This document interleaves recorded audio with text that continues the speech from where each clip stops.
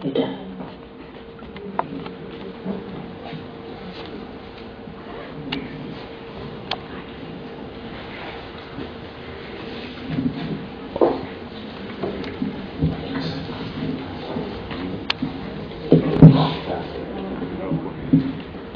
you very much for letting me speak here.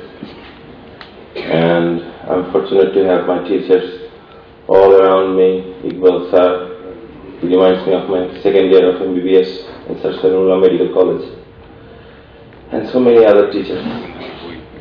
Assalamu alaikum to all. And first, I must introduce my topic apart from the slides because one might say where does it come from? Why are you here with this topic? So, a very brief introduction is needed. This is an hypothesis.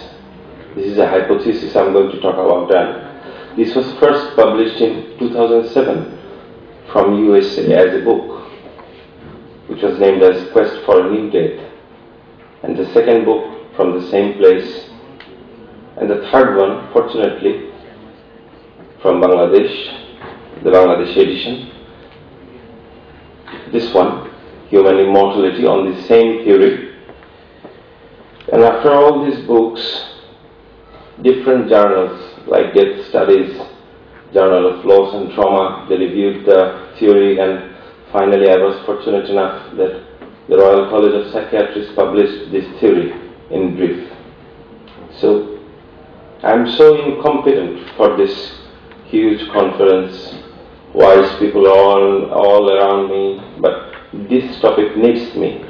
So before I begin, I must apologize to all, as this is too huge an approach to comprehensively present in one session, according to a review of this work. This would be the job of a dozen book-length treatises or a hundred journal articles. It was said in Death Studies, volume 33, 2009 February.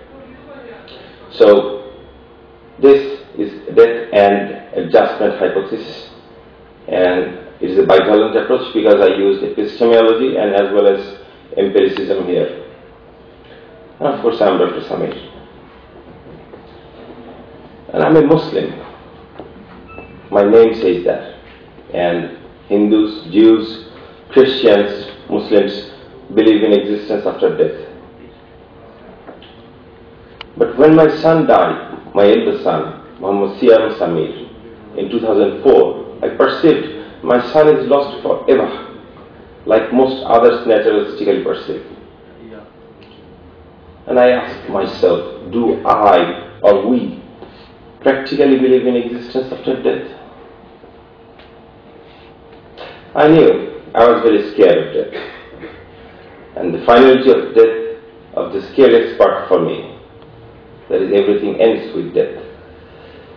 And I again asked myself, do I or we practically believe in afterlife or religions? So I looked into the dictionary and the Oxford Dictionary 2003 it said death is the destruction or permanent cessation of something. So I looked into Heidegger's book. I, I, I don't know how much of do you know about Martin Heidegger, the German philosopher who worked on death. He said every next moment in life is a potential moment of our death. And this is uh, a very established comment. So when I integrated these two things, the thing came, every next moment in life is one potential moment for our permanent cessation, which can make every life feel a huge disaster, can't it? So death as permanent cessation of existence is a natural mismatch for human philosophy. And it's not only me, also Freud said it, 1926. Doesn't it feel like, doesn't it feel really odd to see a mandatory natural phenomenon for all humans as a regular mismatching disaster? I don't feel good at it. But as other regular natural phenomena, good adjustment to death is more reasonable than being in discomfort about it. and those of you who have studied the laws of nature will feel it better. So, come to uh, Paul T.P. Wong, who is still living in Canada. Uh, his meaning management theory says survival is the first of the two primary, primary motivations for human beings. And so much of our death anxiety and adjustment might depend on how we perceive our existence in relation to death. And this is the result of a work uh, which was done by myself and Peter Gilbert from UK.